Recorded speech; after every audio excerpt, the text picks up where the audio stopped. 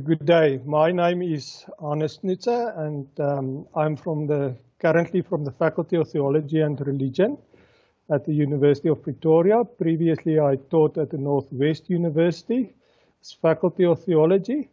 Um, when we planned this book, the book's name is A Critical Engagement with Theological Education in Africa, uh, a South African Perspective.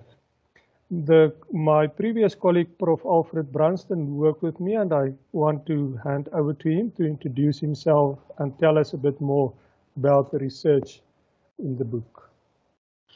Good afternoon or good day. My name is uh, Alfred Brunsdon. I'm a professor in, in practical theology with the Faculty of Theology of the Northwest University. Um, this whole issue of theological education in, in Africa is uh, quite a complex one. Uh, there are a, a, number of enduring issues which require ongoing reflection, such as epistemologies, methods, and where, for example, formation fits into the picture. And myself and, and Hannes uh, have been teaching alongside one another for a, a number of years in a multicultural context. And for some time, we wanted to contribute to this discourse. And having access to a number of networks, we decided to initiate a collection or a collective book on, on this topic. Um, and we had a good response from uh, authors wanting to take part in the project uh, from the African context and abroad. And um, collective works like these usually develop a, a very unique dynamic and uh, when we gathered, gathered all the material, uh, we saw that we were also able to divide uh, the book into different sections, uh, of which Hannes may tell you maybe about the, the first two uh, sections of the book, please, Hannes. Thank you, Alfred. Section A is about the historical and current perspectives um, in, from a South African perspective. And uh, there we attend to the history of mission and how it influenced theological education. Um, and then uh, the achievements and challenges with reference to Africa in the current perspectives. And then there's an interesting chapter on the epistemic becoming of students in higher education, uh, uh, colonial lens um, which we um, put on. And in the second section, we talk about the paradigm shifts that uh, take place in Africa, um, where we have seven chapters. I'm not going to name all of them, but it uh, includes things like ACTEA, the Association for Accreditation for Theological Education in Africa, um, it has to do with a, a chapter on African hermeneutics, um, the importance of calling, and we also had a chapter specifically on the French-speaking Africa, and we included a, a, French chapter as an appendix. Uh, the translated one in English is within the book. Um, all of these are very relevant and important paradigm shifts in Africa in relation to theological education. But um, and and I want Alfred now to just tell us about the last two sections of the book, please. The third uh, section of uh, this book is on the, the very relevant uh, theme of ministerial formation needs versus theological education challenges. Uh, this is quite a, a, theme that, that you will often find in, in these type of discourses um, how do we also, when we provide theological education, also attend to the very important issue of ministerial formation? And I think um, of the four chapters here, especially the last one in the section by Abram Gaga, um, who talks about trans the transformational impact of facilitation over lecturing uh, is, I think, a, a very uh, important part of this particular discourse in this section. And then the last section, uh, only two chapters in the last section, which deals with uh, a critical uh, reflection on elective models and methods.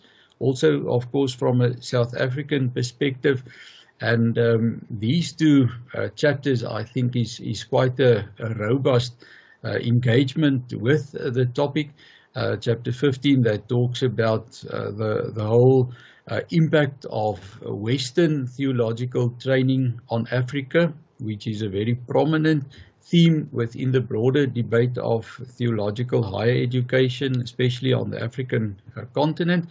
And then the last chapter in this section uh, by Marius Nel deals with uh, the influence of hermeneutics on theological education. So in the end, four um, different themes that we try to address uh, in this book.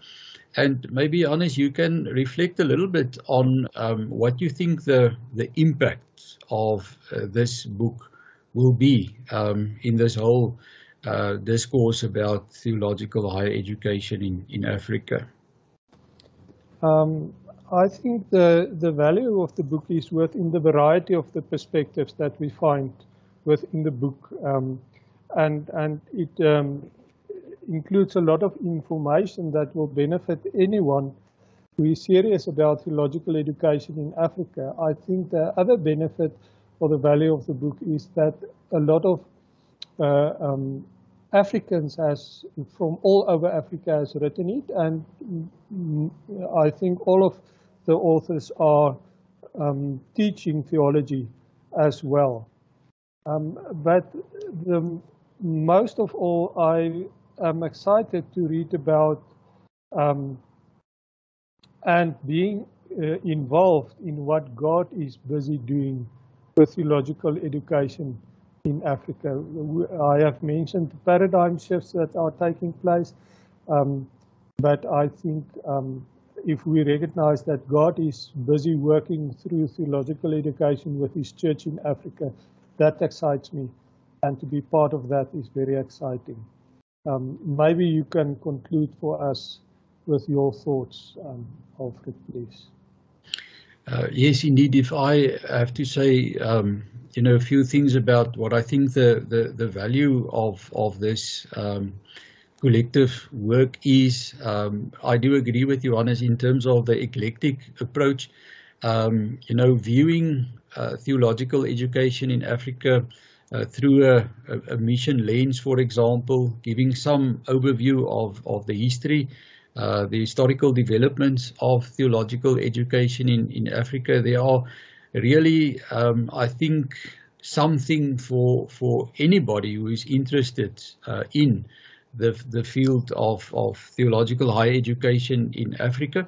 And what I also gathered when, when reading through the manuscript once again is that many of these chapters um, can stand on their own as well. So there are a, a, number of very strong contributions that that that can stand alone also, uh, depending on on the field of of theological education in which the reader will be interested.